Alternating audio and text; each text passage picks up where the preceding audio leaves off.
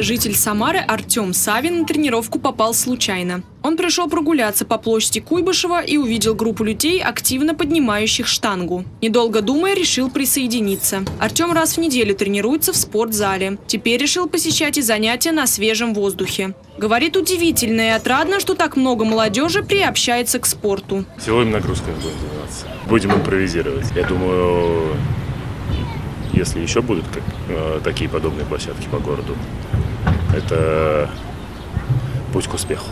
Все лето в городе на четырех площадках, в парках имени Юрия Гагарина и 50-летия октября, на площади Куйбышева и на набережной в районе Первомайского спуска проходит акция «Самара в движении». Артем Лунов участвует в ней с прошлого года. Вот и этим летом не устоял перед искушением. Хожу сюда часто. Я тут живу рядом, здесь все классно. Ее можно регулярно сделать себе вместо зала, потому что сейчас лето, жарко, и ну, в зале же потеешь, тяжело. А тут на улице с, с ветерком, и, и веса есть как раз хорошие. И он даже, по-моему, боксерский мешок есть.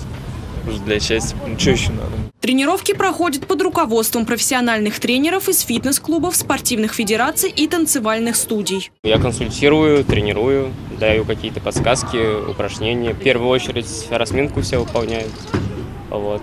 Потом уже какие-то веса. Если я вижу, что человек не готов поднять вес, я ему ну, не разрешаю этот вес брать. Каждый желающий, независимо от возраста и уровня физической подготовки, может присоединиться к ежедневным занятиям, которые проводятся с 5 до 9 вечера.